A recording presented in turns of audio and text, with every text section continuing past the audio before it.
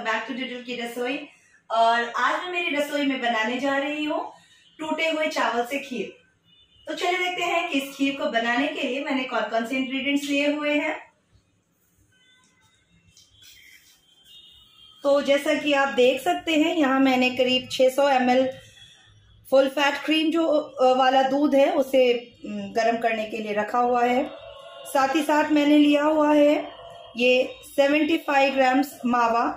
और 75 ग्राम्स चावल। ये जो चावल है ना, इसे मैंने मिक्सी में पीस लिया हुआ है, दरदरा पीसा हुआ है और पानी में भिगो कर रखा हुआ था। साथ ही साथ ये थ्री फोर्थ छोटा चम्मच कुटी हुई हरी इलायची है, ये थोड़े से ड्राई फ्रूट्स हैं और 100 एम मिल्क मेड लिया हुआ है। तो चलिए दूध हम गर्म होने का इंतज़ार करते हैं। दूध अच्छी तरह से उबल चुका है। तो चलिए, अब हम इसमें ये जो चावल है, पानी में मैंने भिगो कर रखा हुआ था, इसे डाल लेते हैं। ये चावल को ना आप मिक्सर की जार में पल्स मोड पे ही पीसिए। अदरवाइज़ अभी तो रेडीमेड भी मिलता है टुकड़ा चावल खीर बनाने के लिए ही। उसे भी यूज़ कर सकते हैं।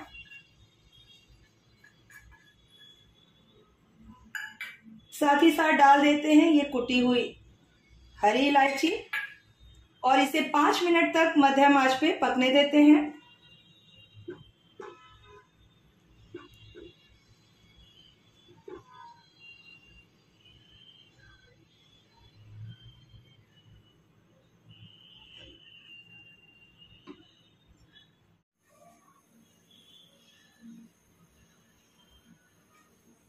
ये दूध, जिस दूध में मैं खीर पका रही थी ना, ये देखिए अच्छी तरह से उबाल आ चुका हुआ है।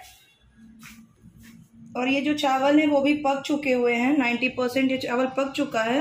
अब इस स्टेज पे मैं इसमें ये जो फ्रेश मावा है, वो ऐड करूँगी।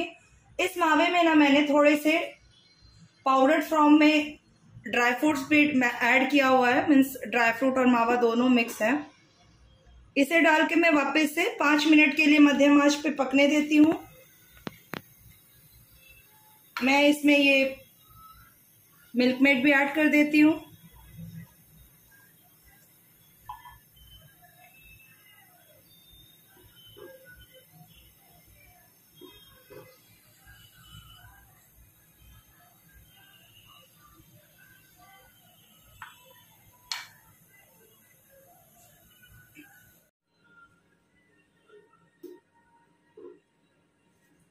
इस खीर में मैंने मावा और मिल्क में डालने के बाद वापस से और पाँच मिनट के लिए मध्यम आँच पे पकने दिया था।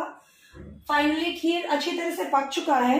अब मैं गैस बंद करती हूँ और ऊपर से मैं इसमें ये केवड़ा एसेंस ऐड करूँगी और मिक्स कर लेती हूँ।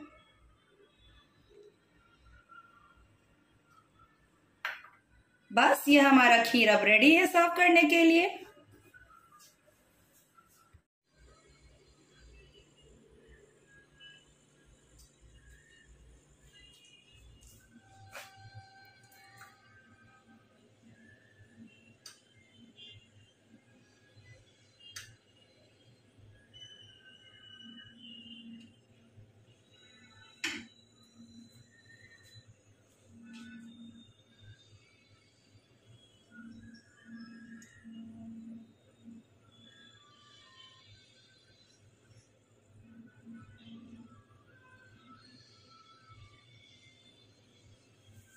तो ये मेरी बढ़िया से टूटे हुए चावल वाली खीर अब खाने के लिए बिल्कुल तैयार है।